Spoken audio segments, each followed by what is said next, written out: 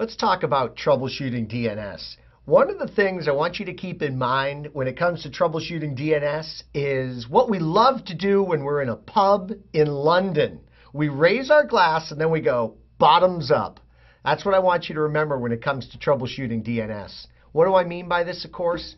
Well, look, we want to make sure that the problem is actually up there in our OSI hierarchy, and it actually is a problem with DNS. So many times, it's a lower level issue.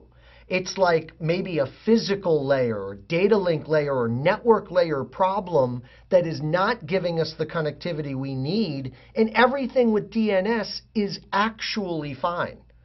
By the way, if we do isolate it as a problem with DNS, we want to figure out is it like NetBIOS names that can't be resolved? Is it DNS fully qualified domain names that we're having an issue with?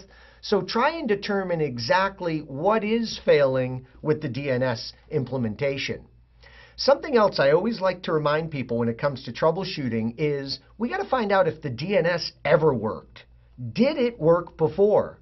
And if it did, when did it work before? And then this is so important what changed?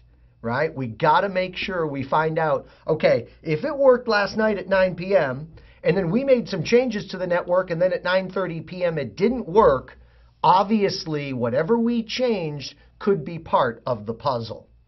Now, since DNS troubleshooting can be quite complex, we have a lot of great tools in our tool belt. Tools like NSLookup, DNSLint, the very, very popular PC tool of ipconfig.